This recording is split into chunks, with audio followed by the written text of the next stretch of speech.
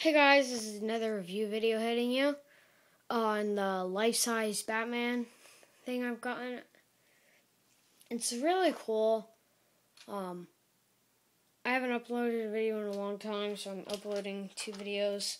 I might do a review about what I said over there, but um, I had this. Uh, some, if you've been watching, I bet you've probably seen him a little bit of him in the background.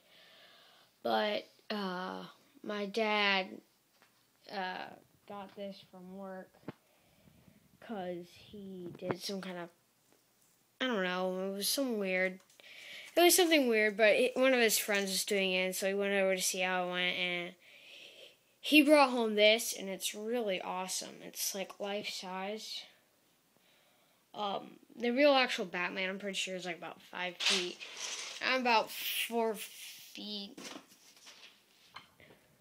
something, probably about halfway there. So I'm like about up to here on him. Mm. But yeah, it's really cool. It's just it's just um thick uh, cardboard. And it's got a stand in the back there got the logos, it's got them walking. It's very cool.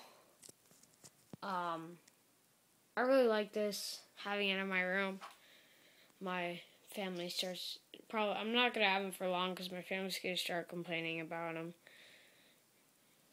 Like, I, my sister told me yesterday she thinks someone's always in the house because she walks around and she sees this guy and she's like, ah. But, yep. Tell me what you think about this. Do you think this is cool? Do you think this is just junk? Or, yeah, but comment because I like to talk to you guys. And yeah, go Batman.